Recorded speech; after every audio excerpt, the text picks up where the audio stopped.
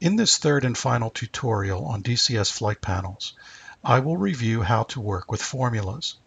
The only Logitech Pro flight panel affected by this is the multi-panel, and, more specifically, the displays of the multi-panel. As I mentioned in one of the previous tutorials, much of the flight data that could be shown on the multi-panel LED displays exists only as raw data. Typically, this means that a number from 0 to 65535 would be displayed on the panel if you were to map one of these outputs.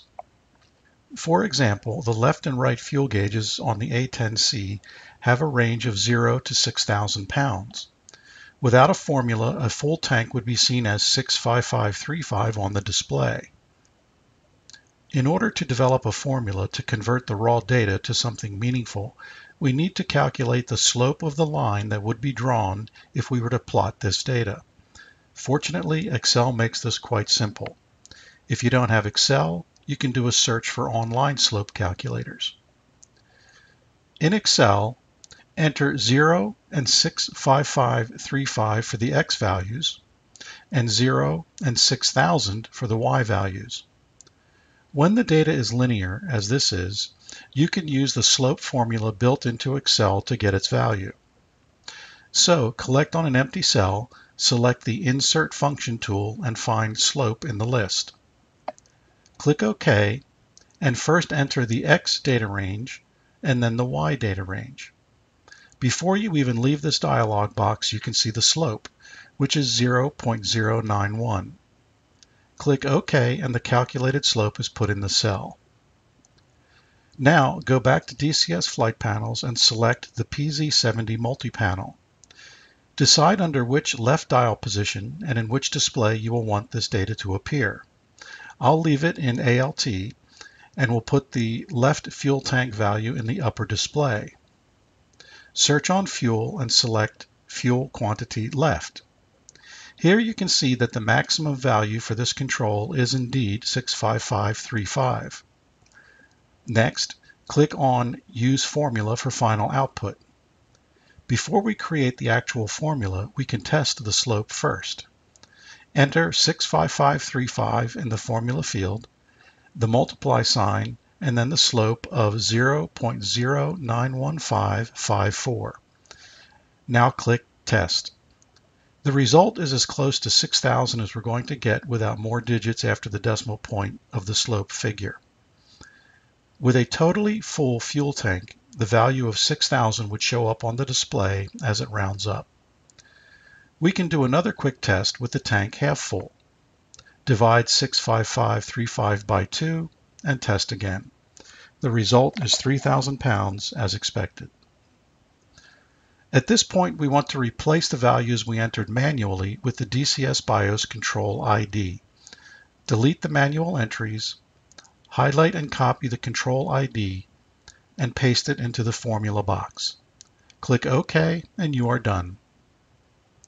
Most of the gauges in DCS aircraft modules use linear values, but not all.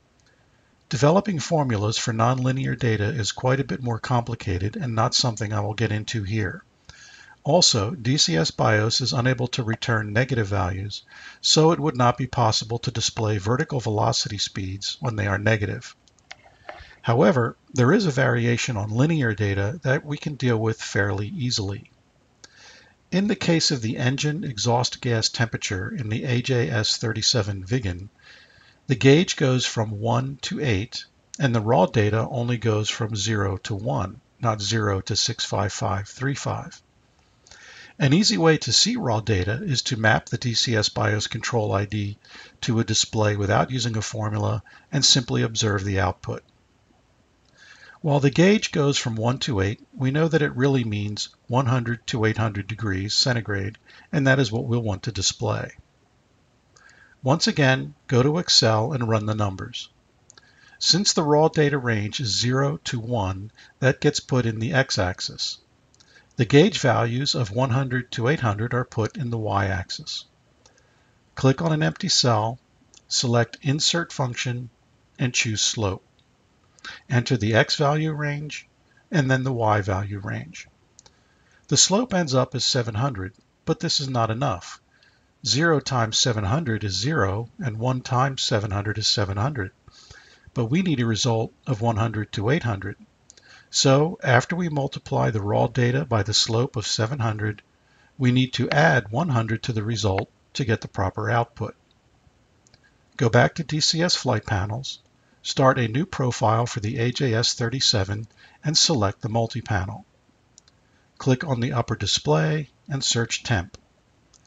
Now, here I can point something out. In a number of the later DCS BIOS profiles, we have added pre-calculated gauge values.